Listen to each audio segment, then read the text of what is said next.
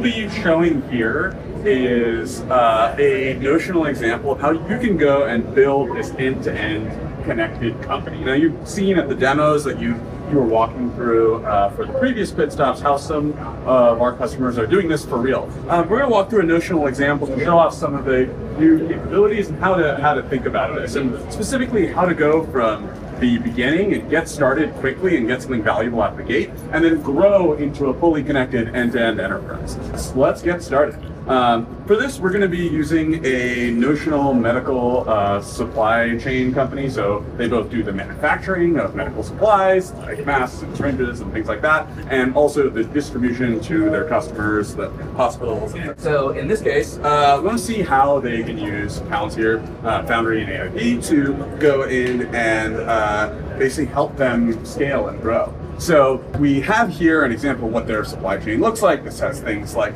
their customers, distribution centers, deliveries, etc. We want to see how they can take advantage of uh, this ontology that they've been building up to uh, use a use case of something like uh, customers.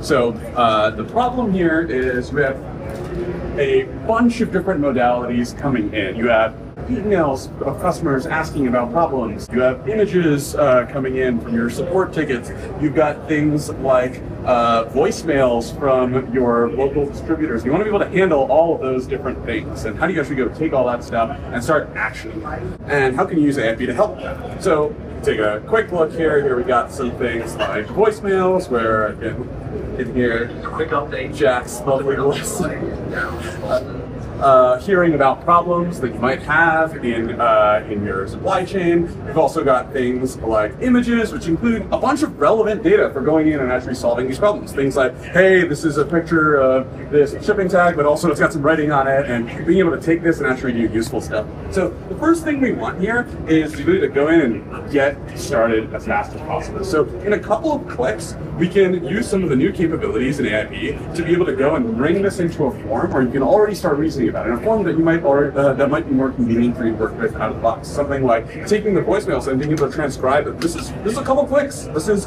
a single transform in Pipeline Builder that I'm showing here. This is our no-code data transformation tool. So we can go in and say, hey, I want to go in, take these these voicemails that I get that I've connected in to Foundry and transform them together. And then maybe I want to join those together with some contact information I have so I can enrich that with stuff like, hey, where is this data coming from? Who is calling? Is it someone in my CRM already? Is it something where I can use that information to then make make some of those decisions? I also have down here things like uh, those PDFs, being able to use a vision language model to be able to start extracting some of the relevant data here. So I can go in and say, hey, I want you to extract out the contents, but also if there's any destination information or actions I, I, can, I should be taking, bring that out as well so that I can then go reason with that as structured data in text versus needing to go in and, uh, and figure all that out. Once I have this, I can bring this into my ontology and I can start working.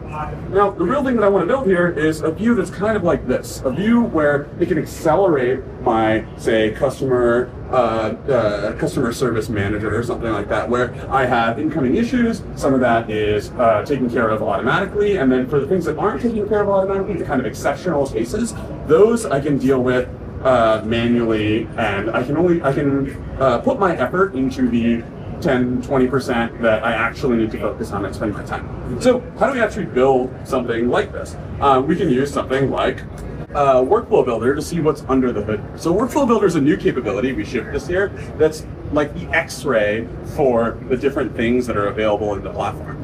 On the right, you have that same view that we were showing you before, but on the left, you have all the ingredients that actually make up this. piece. This is the object types that represent your ontology underneath. Things like the raw materials, manufacturing plants, orders, finished goods, uh, and the alerts you have, things like that. You have the functions that define the logic that's related to your enterprise. Things like I have a raw material inventory calculation. I might have something that goes in and does uh, handles a redistribution. I might have a model that's used for some of these things. Um, and also in the age of AIP, the uh, different language models that I might use here, are things like Claude 3.5 Sonnet, uh, some open source models like Llama, things like GPT-4o, etc. Being able to use a range of different models to do the task they're best at. And I can connect those into the actions here. This is that uh, not only the ability to read data in, but also do things in the real world. I want to be able to cancel orders. I want to be able to change their priority. I want to be able to reallocate inventory. By being able to encode these things, I can do that everywhere. And this is the theme that you'll see throughout this demo and also throughout the demos that we've been seeing with uh, what our customers are building is it's the ability to synthesize this uh, the context you need to make a decision and then go and actually make that decision. Thread that through not just a single workflow but your whole organization and so going from here, in this case, we're setting up this automation. And to do that, we're using AIP logic, which are no code function builder to let you work with AI and get the data in your ontology. So we have a couple of different logics connected into this application. Um, I'm going to look at this voicemail logic in, specific, uh, in particular as an example. So this operates on a new voicemail as it comes in. You can uh, set this up manually. It brings in a bunch of context here. So again, um, this is a view really for builders. It's a point and click tool that you can. Of course, if you want to use code, that's there too. You can interpret that. Um, so we see it brings in a bunch of different relevant uh, pieces of context, things like uh, the manufacturing plant, distribution centers. It does some calculation to figure out what is the actual impact of this. And we can see this happening on the right-hand side. You see things like it querying uh, using various different tools, things like looking up the relevant uh, support tickets that might be open, uh, finished goods that are related. Is there any existing work happening for this customer? Um, using tools like the reallocation model. Once we have this, we can connect it together into the view that our actual builders use. So this is a custom view that you might have where it looks something like a, uh, a dashboard. This is again, this is built using our no-code tools like Workshop, which let you build applications that you can present to different domains. But does it scrape the voicemail and then use loaded keywords? How does it know what table to go into? You know? Great question. So this is one of the new capabilities that that, that AIP unlocks. So there's a couple of ingredients that go into something like that. We use uh, a speech to text model called Whisper, uh, an open source model that we deploy for you. In fact, once you have that, you can then use the power of language models. And, uh, you'll be able to use built-in tools like semantic search, but enhance that with ontology search to be able to take your structured and unstructured information, use the reasoning from the language model, combine it with the interface that your user uses. Once we have something like this, we can go in and say, all right, I'm actually having, uh, building up some confidence that this is actually um, what I want to do. So as I get that confidence, I can go in and introduce an automation. So I can then connect up an automation so that every time a new voicemail comes in, it can automatically go through and uh, execute some actions. Now, you don't want to execute all actions automatically, so you can do things like have thresholds, or if a total dollar value is under some threshold, then you allow automatic executions. Or if it's for a specific category maybe you allow automatic executions. But for other ones, we present it to the user in a view that makes sense for that user, so that they can go and see. So over time, this gives me more and more time to be able to spend on the important parts, and it also creates this feedback. Because I'm capturing this in the ontology, over time I can see what are the kinds of issues that are coming up again and again, and I can start building up where I want to invest in improving things over time. Yeah, so as you can see uh, here at the bottom, it looks like our biggest issue is in production line, and it sounds like that's a recurring issue for our business, only unlocked our bed. Um, so now that we know that, where does that information go? So a traditional non-connected company, this might go to leadership, they might have a meeting about it, and then it will get passed out to the relevant stakeholders. At a connected company, we want that to go right in the hands of the technicians that are going to be responsible for fixing that issue. So at Palantir, we love building applications for the edge to be on tablets and phones and on people's you know, work devices. So that's what you're seeing here.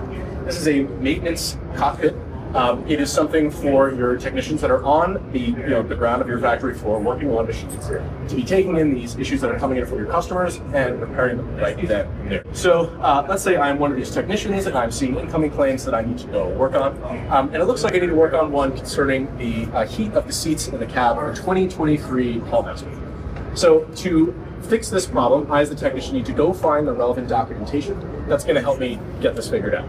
Uh, but therein lies the issue how do I look at a huge amount of documentation to figure out what is going to be relevant to me? We're talking about search. So search via keywords is relatively basic. It might run out quickly. Let's assume that I've tried it and it hasn't worked. What many people try next is something called a semantic search. You're unfamiliar, a semantic search is kind of like looking up the meaning of text. So you're looking for things that generally have the same gist. Now, sometimes this is very, very powerful, but in operational use cases like this, it can often fall flat. So in this case, I've done a semantic search on this claim from a customer. Uh, there's something about this overheating of the cab, and I get something related to seat overheating.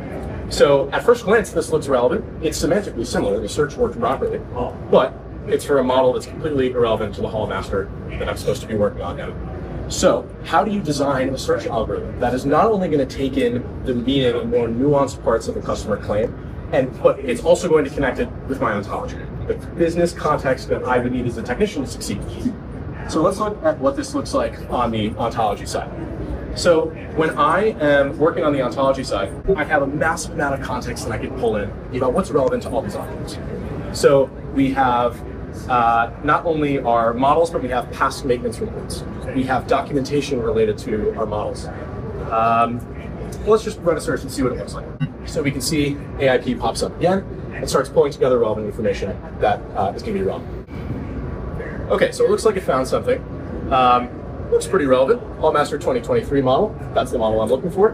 Engine overheating issue, that's exactly the problem I'm trying to figure out. So how did it do that? How did it find something that was that relevant to the thing that I was doing on the ground? We can take a look at AIP's chain of thought figure out what sort of things are relevant. Well, the first thing it figured out is that I'm talking about a vehicle model called the Hallmaster uh, from 2023. That's using context from my business that was not provided to the model any other way than the ontology. And not only is it finding that relevant documentation, it's looking through past pieces of information uh, related to the maintenance of it. So that's going two or three steps out from what I originally input in the model. So let's ask AIP to come up with a solution based on what it found so far. So, I mean, the one thing to point out that's pretty damn cool is like not only has it read the model and given me a recommendation, it's also looked at these past reports and found that the vehicle has recently had repeated radiator leaks. So that's an insight of uh, an issue with my vehicle that AIP was able to come out just on the fly. So that's where ontology, especially in edge operational sense, can start kicking the tires faster.